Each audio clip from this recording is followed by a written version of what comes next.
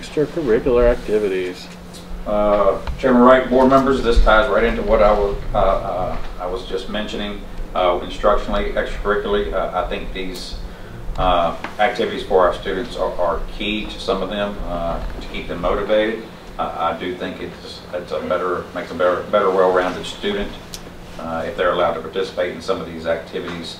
I do ask that when we take action on this tonight, that we do go ahead and break away from the quote-unquote agreement that we had before, and we base our ability to participate and play uh, on what CDC guidance has, has given us, and community transmission, uh, school impact, overall well-being of the students, and ability to do health mitigation strategies. Uh, those five key areas uh, are what we should look at on a weekly basis to make sure. Uh, if there's uh, an outbreak in school, obviously that is going to change some of the extracurricular activities. Uh, I don't think anybody has any objection to that. Uh, you know, it, it's not rocket science on that part. Uh, if our community transmission starts going up high again, uh, I think you know that obviously is going to be uh, play a key factor in whether it impacts the school and whether we start losing learners uh, instructionally in person. So that would be my recommendation to the board is, is to allow participation back uh, into athletics, uh, given all those factors and the latest CDC guidance. Thank you, Mr. Callahan. And what he's referencing is the operational strategy for K through 12 through phase mitigation that the CDC published on February the 12th. And it's a, it's a great plan that they did that takes in um, numbers of community transmission. There's two data points it takes in place, and we're down almost 30% um, just in the past seven days, and much more than that in the last three to four weeks, which is amazing. This takes the guesswork out of it, takes it from it feeling like it's a personal decision, and it uses a scientific data-based approach into what we're doing, and I think it's a solid plan. And it, it would allow our students back to play again, which is what we all want based on this CDC um, plan for operational strategy.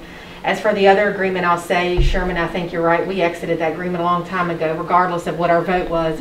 If we were still in that agreement, we wouldn't have been practicing at the level we were four weeks ago. Correct. So we let our students go above and beyond that, that agreement during our highest peak. So I think that agreement's been long, null and void, but I appreciate your leadership. I appreciate everything you've done. I appreciate your support um, of the board and answering us day or night regarding this. Um, you've, you've went above and beyond any of our expectations, as well as the, all the other staff, as well as Ms. Hanson and Mr. Brown and what they led in that solid presentation, and it very much was. But what we've long been awaiting for was published February 12th, and it takes it out of anybody's decision and leaves it in the hands of the CDC. So thank you, Mr. Callahan.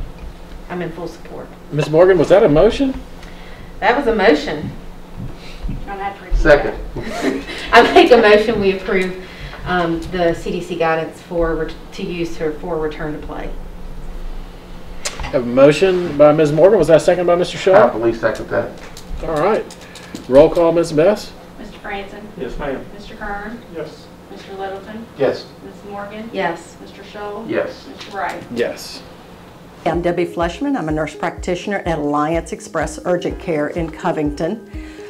We are currently available to test anybody with symptoms of fever, fatigue, cough, shortness of breath, sore throat, or any symptoms that are concerning for COVID 19, flu, or strep.